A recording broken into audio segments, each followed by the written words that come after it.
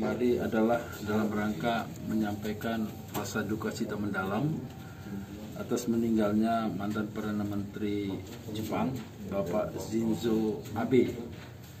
Beliau adalah eh, Perdana Menteri yang cukup legendaris dan saya atas nama Indonesia Jepang Business Network dan juga eh, berketepatan AB ini Shinzo Abe adalah senator dunia nomor 6130 ya. GCI Juno Chamber International saya nomor 65625 saya nomor 65625 beliau adalah 6130 jadi ini adalah uh, senior kami juga dalam pergaulan internasional. Jadi kami menyampaikan rasa turut berduka cita.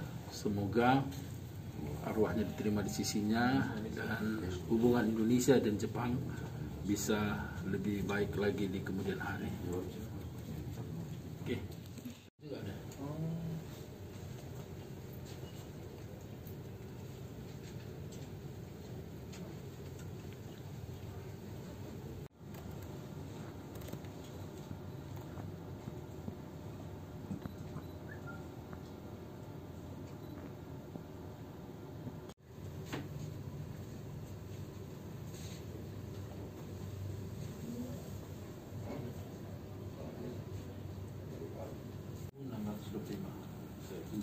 coisa.